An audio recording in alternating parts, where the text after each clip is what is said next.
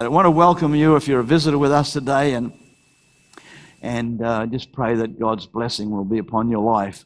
We've been sharing a little bit lately about uh, uh, renewed minds, renewing our minds, and, and I, I, want to sort of do this for a few weeks because it's a fairly big subject, and, and I don't want to get deep into it because it's I just want to make it as light as I can so that we can navigate our way through some things and so we can change the way we think and change the way that uh, you know we, we react to certain things so that we can become successful. Otherwise we shut ourselves up to the things of god. So I just want to read uh, again in the book of uh, romans chapter 12 and uh, it says there it says i beseech you therefore brethren verse, verse 1 by the mercies of god that you present your bodies a living sacrifice holy acceptable to god which is your reasonable service and do not be conformed to this world, but be transformed by the renewing of your mind, that you may prove what is that good and acceptable and perfect will of God. Be not conformed to this world, but be transformed by the renewing of your mind. That's an amazing statement. Christianity or Christians at large have been conformed to the world. We've been lulled to sleep. We've, been, uh, we've taken the Spirit of God out of our relationship with God, and it becomes a formula. It becomes a, I don't know what, how, how I can explain it, but as we go through, perhaps we will. I, I believe that we've drifted away from so much of the reality, so much of what God expects of us, so much of what God uh, wants us to uh, know and, and uh, move and have our being in. So I want to speak again about the, uh, renewing the mind. And first of all, I want to ask us the question why do I need to renew my mind? Why do I have to have my mind renewed? You see, my mind is my emotions and my will. My emotions get. How many people know that we are a very emotional people? And we have a will. That's why Jesus, you know, that not my will, but thine be done. And so sometimes our will can stop us from flowing with God and take us in, the, in a different direction from where God is. Our subconscious gets very, very involved. We've got a subconscious, and if you're just sitting somewhere and you start to think, it's your subconscious that gets involved with you. It's, you know, you might start to rehearse some things that have happened to you. You might start to think on something negative. You might start to think on something. And and and if you can if you dwell on that too long you go down the gurgler. So we've got to renew our mind so that we think right. If we don't think right we're in big big trouble. Our subconscious stores the past and reacts accordingly whether positive or negative. Our subconscious reacts that's why God said to Joshua, He told him three times, be strong and very courageous. He told him to meditate on the word, not to go this way or that way, but to meditate on the word and to do what the word of God told him to do. We renew our mind by the power of God, by the word of God, by the anointing of God. Do all that is written in it. You see, Joshua was born in slavery. He saw the hand of God, but he didn't enter into the promises of God. If I can say this about most Christians today and the church today, we read about the positives of God, we read about what Jesus did, we read about what he tells us we can do, but many of the church, many of us never ever experience the promise that God has given to us. And it just becomes another story. And when we hear some of these things that, you know, we, we, our subconscious said, ah, that's nothing. That'll never happen. But you see, if we get our minds renewed, then we can change a lot of way we see, we see, we see things. So Joshua was born in slavery. He saw the hand of God, but he never entered into the promise. He wandered around in the wilderness for 40 years. He saw people dying. at his right hand, his left hand. People were dying all over the place. Plagues took people out. One time, 23,000 people died in a day. He's seeing all this negative stuff, but he, he realizes that when Moses was there, Moses talked about a promise of going into a promised land. They saw the promised land, but they didn't walk into it. They walked away. Now, for 40 years, they're wandering around in a dry place. The church might be wandering around in a dry place, but somehow or other, God's going to fulfill his promise. Do you believe that today? So we've got to, obviously, something's got to happen. So he saw that he's wandering around in the wilderness for 40 years. Now Moses is dead. In, re- in reality, Moses was his hope. Moses was the way in. Moses now is dead and is gone. All he knew was hardship, disappointment, and loss. And so here's, here's the, I don't care where the church is right now. All I know is we need to have an ear to hear what the Spirit of God is saying.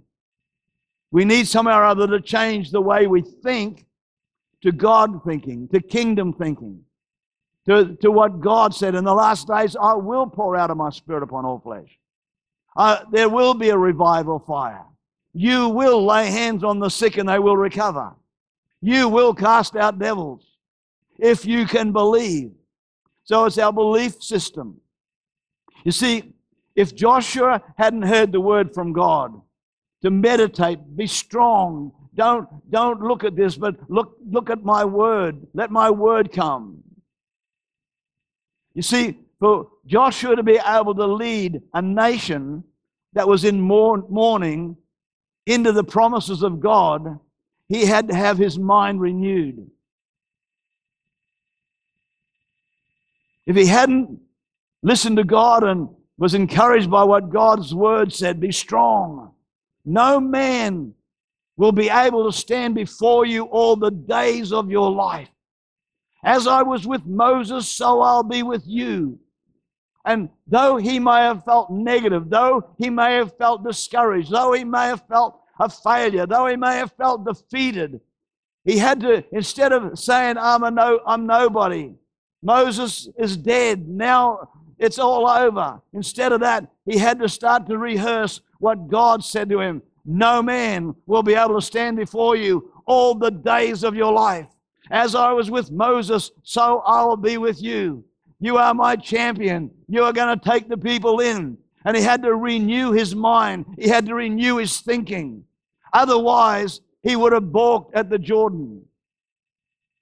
Otherwise, he would never, ever have crossed the Jordan. Otherwise, he would never, ever, ever have taken that wall city.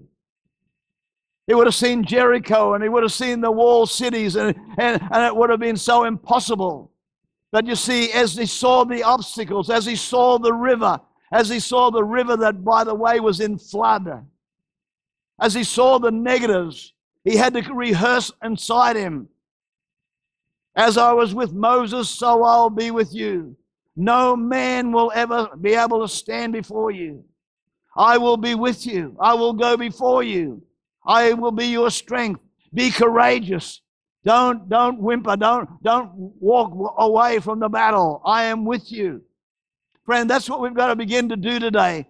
God is with us. He said, I'll never ever leave you nor forsake you. I will never ever do that.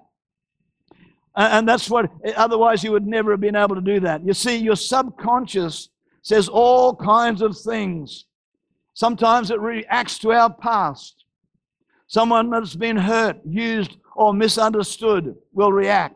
Is there anybody here that's ever been hurt, used, or misunderstood, or misrepresented? See, that's us, and that, that's the, the thing that God knows about us. And is now coming to help us to break through. He's now coming to help us to, to change the way we think. I am not a loser. I am more than a conqueror.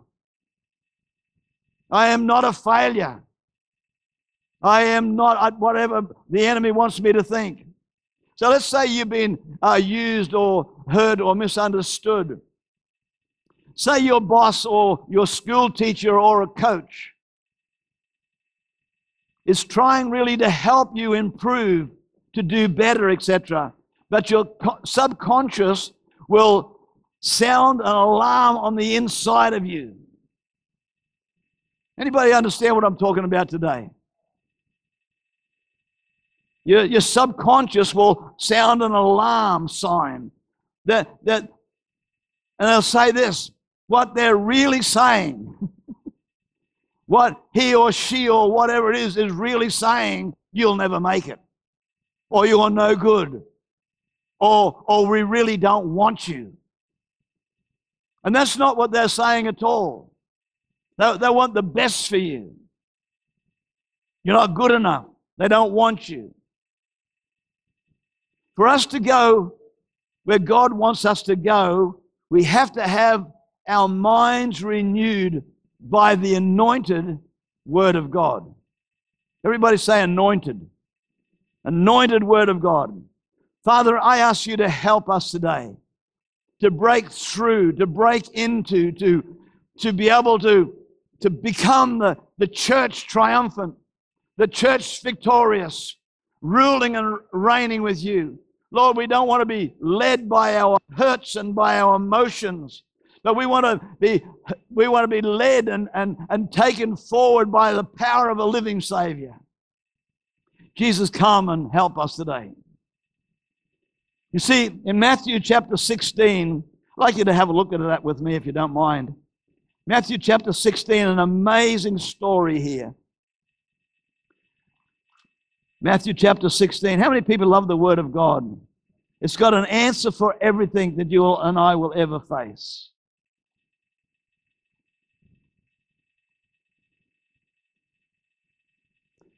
This is an amazing story. In verse 1, it says, Then the Pharisees and the Sadducees come to come and testing him, this is Jesus, asked that he would show them a sign from heaven. And he answered and said to them, when it is evening, you say it will be fair weather, for the sky is red. And in the morning, it will be foul weather today, for the sky is red and threatening. Hypocrites, you know how to discern the face of the sky, but you cannot discern the signs of the times. Then he goes on and says, A wicked and adulterous generation seek after a sign, and no sign shall be given to it except the sign of the prophet Jonah. Then he left and departed. Here are the disciples, they're with him, they're with Jesus. And they're having just a, a normal day with Jesus there, and all of a sudden, the Pharisees and the Sadducees come and they ask him this question. And Jesus reacts to the question because he knows that they're trying to test him. All Jesus wanted to do was do good, and he wanted to help them, but they're trying to test him. Show us a sign from heaven. He says, A wicked and adulterous generation seek after a sign, but no sign shall be given to it to you except the prophet Jonah. I would imagine that the disciples would have been thinking, man, that, you know, that, I wouldn't mind seeing a sign. Anybody else mind seeing a sign today? I, I wouldn't mind seeing, you know, lightning or somebody jump out of a wheelchair or, or some great manifestation of God. Didn't seem such a bad question, but man, he, he really got upset with them. And, you know, man, I don't know what's going on here. So, anyhow, then they go to the other side and they go to their boat and they sit in the boat and they, they have a look around. And, and then one of them said to the other one, Where's the bread? Where's lunch? One looked at the other and said, We forgot to take bread. We, we forgot the bread. So, what I'm saying is, they're looking at themselves now, and, and how many people know that sometimes you don't need anybody to condemn you? You can condemn yourself. Anybody else here? Uh, this, I might just Robinson Crusoe on this island. you can condemn yourself. You can tell you, you, you know, all these things that happen. Nancy's going to be mad with me because I just broke the vase. Or I did this. And you come over and you, and you don't know how she's going to react. And I said, Oh man, I broke the vase. She said, I didn't really like that vase anyhow. you might have put yourself through hours of agony. So our subconscious starts to react to us. And these guys are saying, Oh my goodness, we forgot the bread. We forgot the bread. He's not happy. Here's Je- and then all of a sudden they see Jesus walking down the road towards them. Here he is walking down the road towards them, and they're thinking the first thing that's going to come out of his mouth is, Where's lunch? but instead of that, out of his mouth comes, Beware of the leaven of the Pharisees and the Sadducees.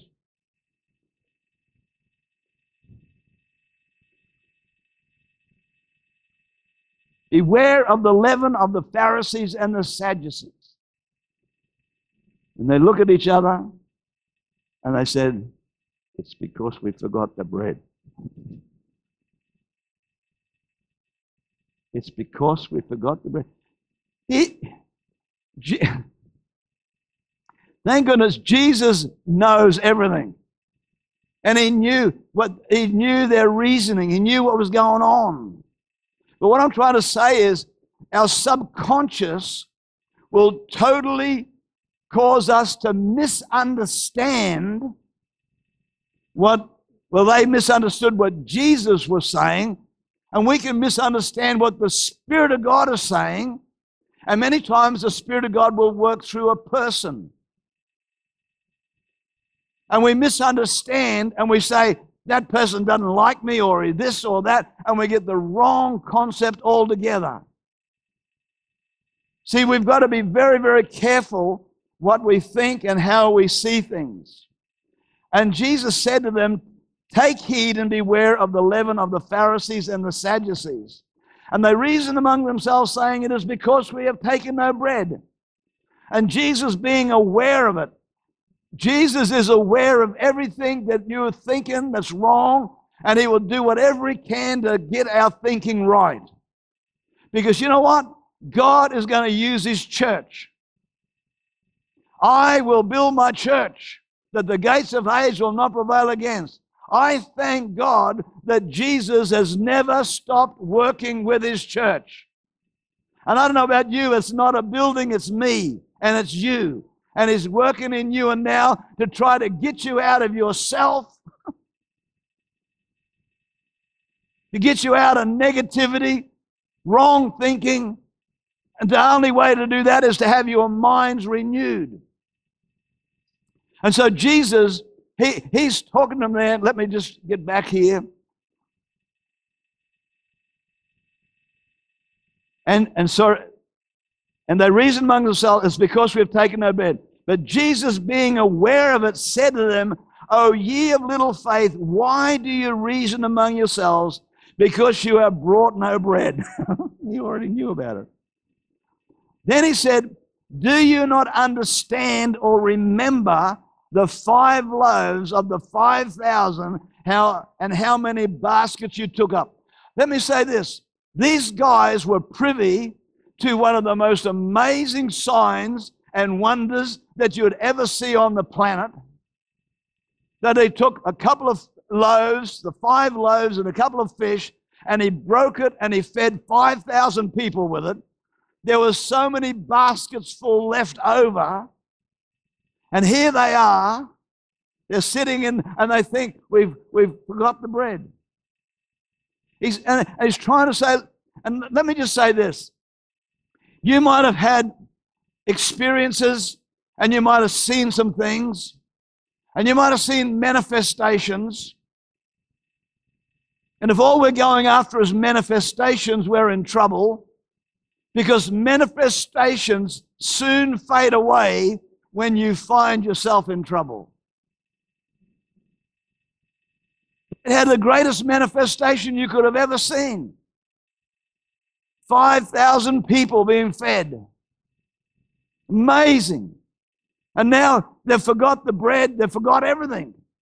You see, when your subconscious comes into a negative environment, you forget all the promises of God. You forget what God has promised us. And I want to tell you that He has given us precious promises, amazing promises. Do you not understand or remember the five loaves of the 5,000 and how many baskets you took up? Nor the seven loaves of the 4,000. And how many large baskets you took up? He's going to really emphasize it now. Large baskets. Reminds me of that fellow that's sitting there, and and uh, the, I think the guy's got a new Ford or something like that, and he's bogged, and and the Ford comes up beside him and and says, uh, "You want a you want a hand?" He said, Park, I'm parking. Just park parking. I've met that fella.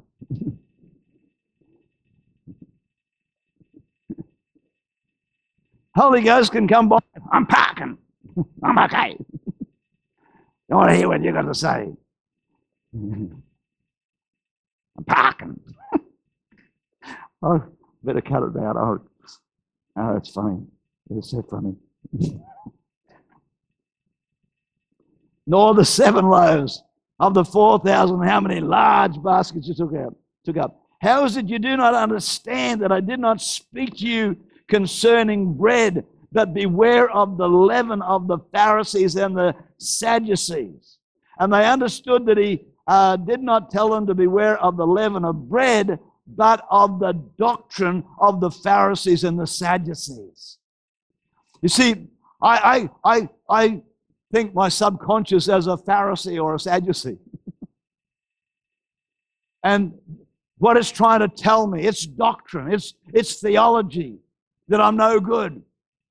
Look, friend, I don't, it doesn't matter what you say about me today. God says I'm good.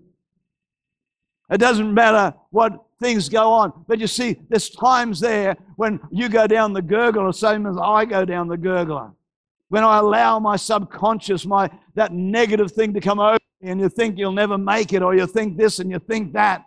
Somebody might have said something to you uh, that, that has offended you. Somebody might have said something there, and, and, and, we, and we just get, we let the enemy run all over us, friend. It's not a time to let the enemy run all over you.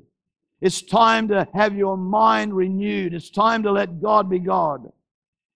The, the, the flesh reasonings uh, caused them to hear something that was totally different to what Jesus was saying. Past sin, past hurts, past failure will cause our thinking to rush to the negative.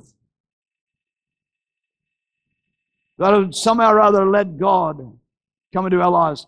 I want to read a psalm to you this morning, just as I close. And I wanted to just be short this morning because I know a lot of people want to go away and, and have lunch with different ones and Father's Day and goodness knows what else. But just Psalm 103, we, we could almost recite this. And I want you to meditate on it. I want you to meditate and, and, and start to read the, again the, the New Testament. Start to read the promises of God. Start to, start to read all that God has done for us, all that Jesus has done for us. It says here, Bless the Lord, O my soul, and all that is within me. Bless his holy name. Bless the Lord, O my soul, and forget not all of his benefits. Forget not all of his benefits. God, I, I want you to reveal your benefits to me. The benefits. And it says, who heals all your diseases, who redeems your life from destruction, who crowns you with loving kindness and tender mercies, who satisfies your mouth with good things, so that your youth is renewed like the eagle. Bless the Lord, O my soul, and all that is within me. Friend, all I want is Jesus. I love that song. And I love that song. All I want is Jesus. All we need is Jesus. I need you more, more than yesterday. I need you more. Jesus, I need you to come and, and, and wipe away all the negatives out of our lives. Past hurts and disappointments will affect you. I believe that God's plan to establish His kingdom has got to be he wants to establish a kingdom. Our Father, who art in heaven, hallowed be thy name. Thy kingdom come. Thy will be done on earth as it is in heaven. Forgive us. Give us. Help us. Come, Lord Jesus, come. Thy will be done on earth as it is in heaven. To establish his kingdom, he must deliver us from carnal thinking into kingdom thinking. You've got to be able to be like Joshua and break that stronghold, break that thing that got around his life. Can you imagine what it was like to be born into slavery? Can you imagine what it was like to, to have gone and eventually got out of slavery and you think, oh man, just like when you and I got born again. Nancy was talking the other day at the ladies' meeting and she shared what she, what she shared with me and uh, with, with you ladies and, and about the little grub screw. See, when you first get saved, you, you, you fall in love with the Savior and, and He sort of comes in, a, in an amazing way around your life. And all of a sudden, he, nothing is too difficult. Everything's possible. You, you're driving your car and you, you see the light is red and, and, and you think, Jesus, you're going to turn it to green for me. how many people know that it always works? and and you, you might be silly little things, but, but you, you just sort of, nothing is too difficult and you just believe in Him for everything. You believe in Him for everything. I, I, I guess we could tell story after story of the simplicity of the things that we believed God for when we were young. When we were young in God, I mean, when we were just born again. And I dropped this grub screw into a great big pile of sawdust because I was building my home and I used to sweep all the sawdust out the back door and just had this great big pile of sawdust and, and rubbish. And the little grub screw that's very, very small as I was trying to put it into the doorknob, it fell out and dropped into this thing. And I just, because there wasn't any stairs, I had to go right around the front, ran down the front steps saying, Praise you, Jesus. Thank you, Jesus. You're going to help me find it. And just walked in there, picked up the grub screw, walked back up and put it in the door. And you tell people about that, those sort of things, and some old people, grumpy bums. Oh, no, grump, uh, no, sorry, shouldn't say, Jesus, help me find the grub screw. Jesus, help me find a grub. I used to be like that one, but I matured. No, you didn't mature, you just died.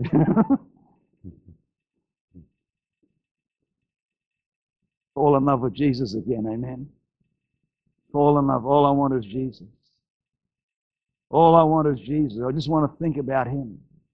I want to think about His goodness. Bless the Lord, O my soul, and all that is within me. Poor old Joshua is growing up in that negative environment. He had to change.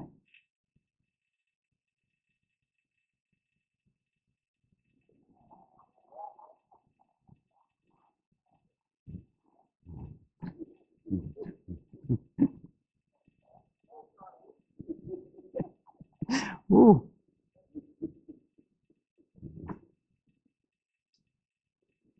Oh man, a cheeky spirit around here.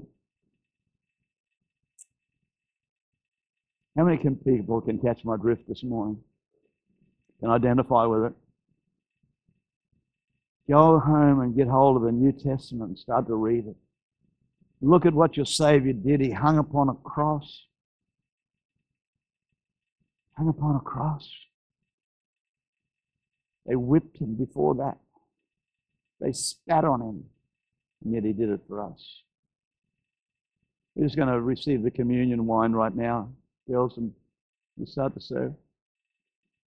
Those are going to serve, just come. I want you just to meditate a little bit on what we've been sharing. Can we just all shut our eyes for a moment? How many people here honestly would say, I need to have my mind renewed? Would you just give me a bit of a wave? I can get a bit of an indication two, three, ten, hundred. Would you do that by renewing your mind by reading the Word of God? See what Jesus says about you and let it fight for you. God watches over His Word. He watches over it to perform it. Watches over it. He, he will help us. He will deliver us. He will set us free. You see Him what he, what he suffered and how he went through life. You might notice we've got a little, these are little flash ones, okay? Little flash ones. Please don't spill it all over yourself trying to undo it. I was going to have a little trial run to see how to do it, but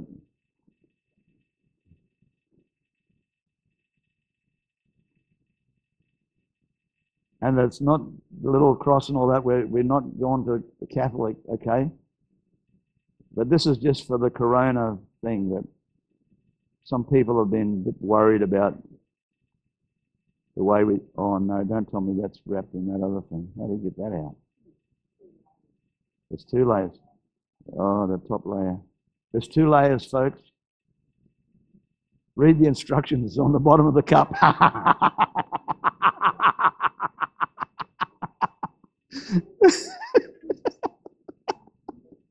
hey? Roll and crumble. Well, how are we going? With, oh, praise God. Are we doing all right here? Hey? I hope it's not real plonk.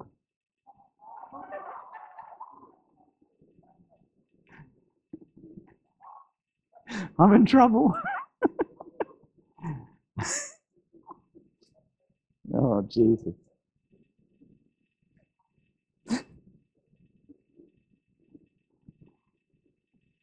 Am I going red?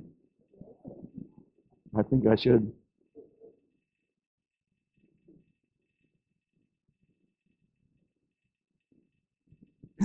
Hello, Em's got it. She's got it.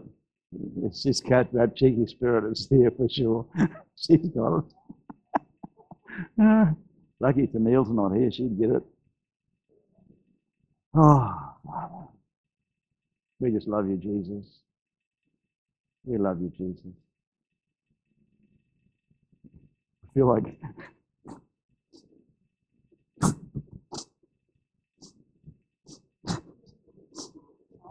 we shouldn't be doing this. This is communion.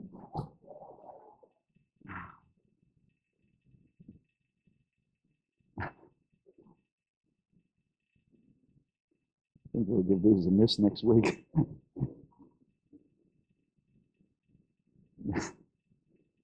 Thank you, Jesus. We all served. We all okay? Know the ones that's got stain marks all over your clothes when we go now.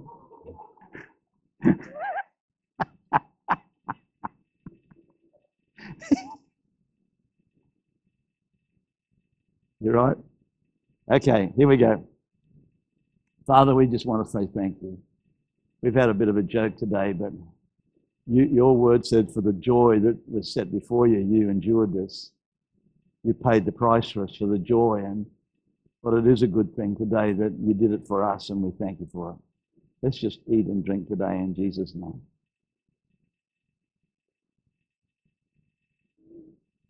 Mm.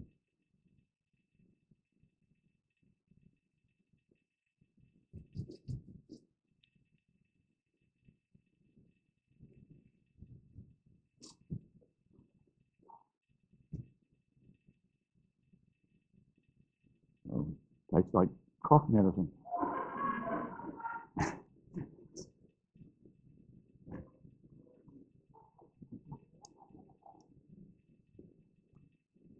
How many people want to go back to normal next week? Uh,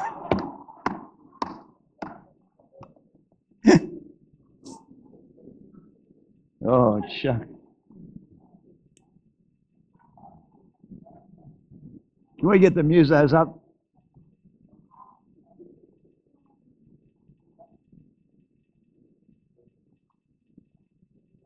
Oh, Father, my Jesus, my Savior. Folks, just let's bow our heads for a moment. If you're, if you're with us today and you really don't know Jesus, or you've sort of drifted away, and Christianity's just become really just something that's not really all that relevant to you. But somehow or other, deep in your heart, you, you really want Jesus to come and, and be your Lord and be your Savior and be your friend. Just wondering if you're like that today while everybody's got their heads bowed and eyes closed. If you'd just give me a wave, say, Neil, that's me today. I'd really like to know Jesus in reality. You slip up your hand today, and that'll be great, acknowledging that. Today, then, if you're here and you know that there's been a blockage, I'm going to call it a blockage because over not just one time, but time and time again, you've come to a place and something in your subconscious has risen up and you felt unwanted or you felt whatever it might be. Nancy prays for a lot of people, and when she's praying for them, there's a real deep hurt in their life. She, she says to them, Do you know where this started? Do you know where it came back, where it, where it ended? And I usually say yes. It might have been when I was a child or when I was a teenager or when I was this, such and such happened. And Nancy's got a scripture there that says that you've got to go back and cut it off. You go back to that place and cut it off. Stop it. Because it will keep reoccurring. And it will stop you from becoming everything that God wants you to become. I don't know what we're going to sing up there, but I'm going to let the girls work it out. But if you're here this morning and and you want to say to that thing, I want to stop it. I want, I want that thing to stop. I don't want it to continue in my life. I want to cut it off right now. Because it's in my subconscious and I'm going to have my mind renewed. I'm going to believe right. But just let's all stand to our feet today. And if that's you today, and I would really love for you to come and let us pray with you. We've had a few jokes and a few laughs, but really, this is very serious. Amen. Don't be like that bloke that is bogged. And somebody comes by to try to help him out of the bog. Tries to react. I'm not really bogged, I'm just parking. When we're bogged, we're bogged. We need to get somebody to help us out. One shall put to flight 1,000, two shall put to flight 10,000. The prayer of agreement is very powerful. I, I believe the Spirit of God's speaking to some people today, and you just need to come. Doesn't mean that you're bad. It just means that you're bogged.